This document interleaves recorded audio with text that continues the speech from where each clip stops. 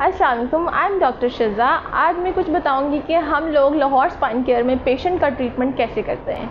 हम लोग हर तरह की पेन को रिड्यूस करते हैं मस्कुलर स्केलेटन से रिलेटेड कोई भी कंडीशन है frozen shoulder sciatica reduce knee space plantar fasciitis Bell's palsy stroke facial palsy इस तरह की हर एक कंडीशन का ट्रीटमेंट करते हैं।